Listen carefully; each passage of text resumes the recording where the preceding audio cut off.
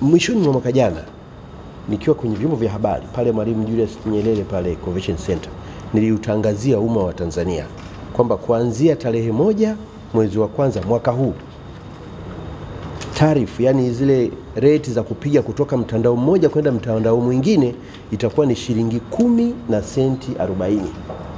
Hilo halijatekelezwa. Kwa hiyo nawataka TCRA sasa waanze kufuatilia ni kampuni gani ya simu ambayo haikutekeleza hilo.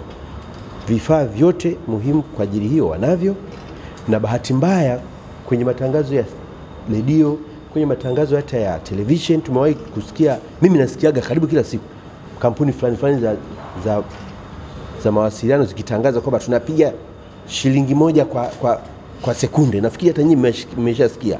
Ukipiga hesabu kwa dakika, maanake ni shilingi 60. Wameshazidi mara sita, karibu mara tano na kitu ya ile reti ambayo tumeiweka kisheria. Kwa hiyo kitu TCRA wafuatilie. Tunahitaji wananchi waweze kumudu gharama za kuwasiliana. Mawasiliano ni haki ya kimsingi ya kila mwananchi wa Tanzania.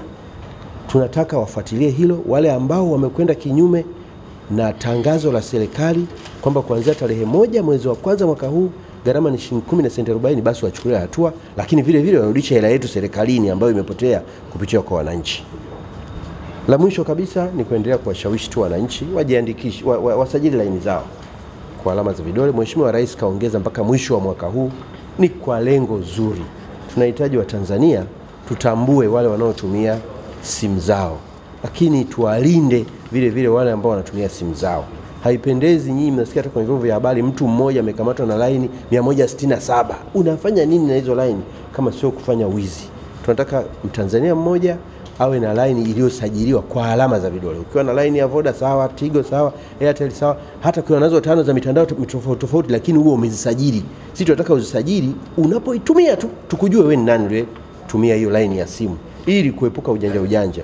Kama nilivyowaambia, sekta hii ujanja ujanja ni mwingi, na sisi tunafanya kila jitihada kuhakikisha kwamba tunawadhibiti.